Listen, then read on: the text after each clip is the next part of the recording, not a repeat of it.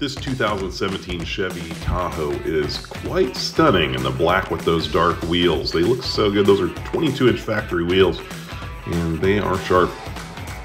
Stepping inside, it is a premier package, so that means it's got all the things.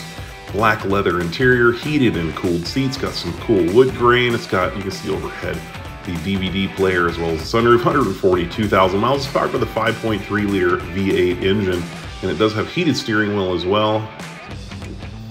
And you can see all the steering wheel controls there.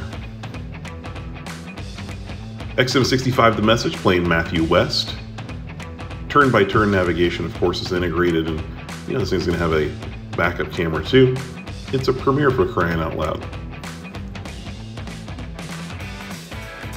Moving down the dash, there's the heated and cooled seats, dual climate control, as well as the rear climate control also.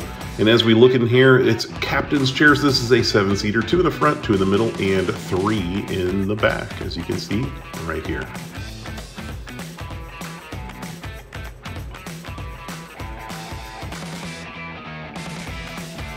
Behind that third row, a little bit of storage space, and these power fold as well. So you can actually fold those seats down and get a ton more cargo space in here.